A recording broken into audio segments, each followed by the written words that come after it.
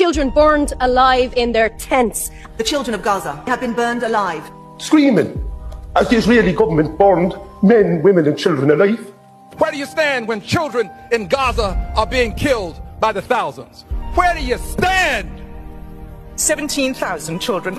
17,000 Palestinian children. Children have been killed in. Night after night, coming in and seeing more children being slaughtered and war crimes being committed. Tens of thousands of children which were killed. War crimes against children in Gaza. It's unbelievable.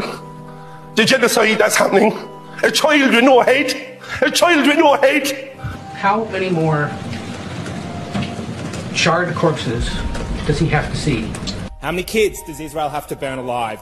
What Israel is doing in Gaza is the symbol of evil for this generation. What's being done is being done in my name as an American and being done in my name as a Jew. And those things are unbearable to me. Colleagues, the Israeli government has seized more land this year than in the past 20 years combined. This is unacceptable. It runs counter to multiple resolutions of this Council and undermines the viability of a two state solution. West Bank settlement expansion and settler violence have reached record levels. The only way out of this cycle of violence and suffering, a viable and sovereign Palestinian state.